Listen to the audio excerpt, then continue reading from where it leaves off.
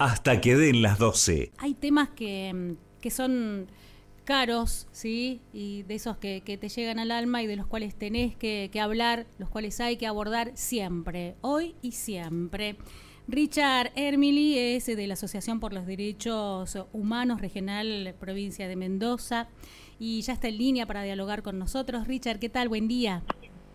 Eh, buen día, Karina. Los, los escucho un poco lejos. Intentaremos mejorar ahí la comunicación. ¿Ahora nos escucha mejor, Richard? Sí, gracias. Ay, qué bueno. Eh, queríamos en principio arrancar la entrevista conociendo mm, cuál fue la situación que por la cual atravesó en nuestra provincia la lideresa mapuche Moira Millán. Bueno, ella se dirigía de, mm, en tránsito a Chile y tuvo, se detuvo acá en Mendoza y eh, se encuentra con que su equipaje eh, no estaba. En ese equipaje tenía eh, un pasaporte, tenía documentación importante y mm, bueno, todo el mundo sabe que Moira Millán es una dirigente social importante, además este ella recientemente ha sido querellante eh, contra la ministra, la actual ministra de Seguridad Patricia Bullrich, este, eh, por las, bueno, en fin, por sus actos de gobierno referido a la, a la, a la represión en, en, los pueblos mapuches del sur de la, de la, del país. El asunto concreto es que de todas las valijas, la única que faltaba era la de Moira.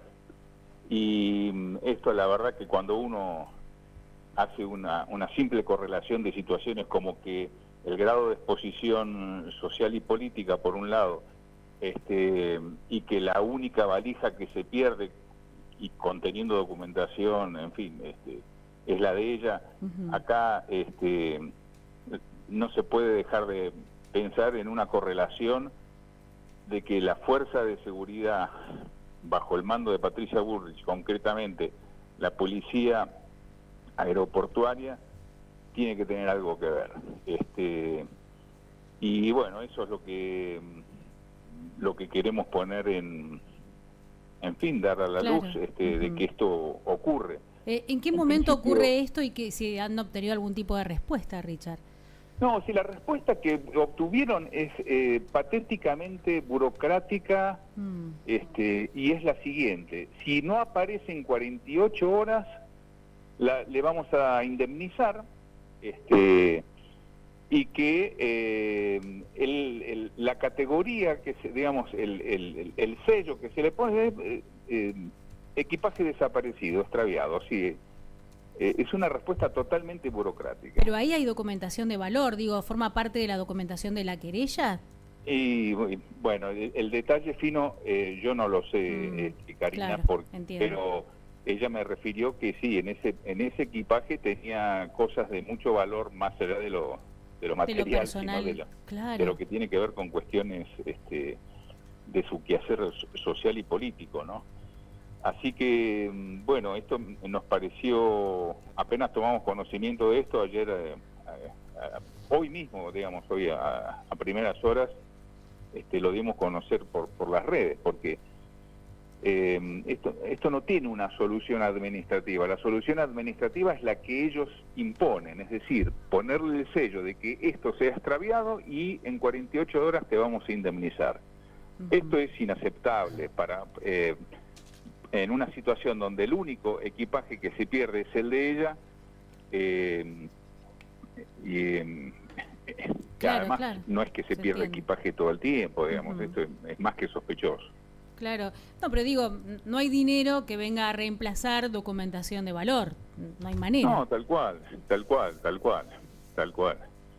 Este, yo muchos muchos datos más no les puedo dar. Este, tuvimos una conversación corta con eh, Moira y, y bueno, lo que sí acordamos es poner de relieve el, el, el carácter, si se quiere, político y social de esta situación para tratar de evitar que se lo se lo ponga bajo la esfera de lo, de lo administrativo, de lo burocrático, y bueno, acá se perdió una valijita y te, vamos a, te la vamos a pagar.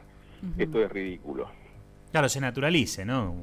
Claro, claro, claro.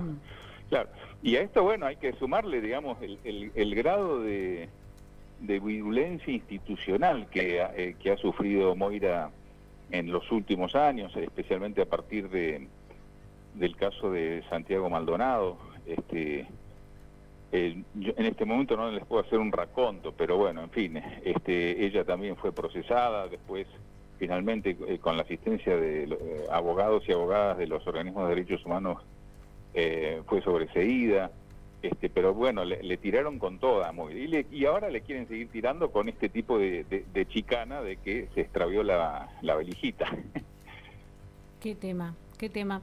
Em, bueno, imaginamos que, la situación no debe ser eh, nada fácil, eh, pero bueno, estamos hablando de, una lideresa mapuche con, gran entereza y que este, seguramente va, a salir públicamente y en los medios eh, eh, de la justicia también a, actuar sobre este y sobre otros casos en los que se viene enfrentando ¿no? a gente muy poderosa, esto es claro.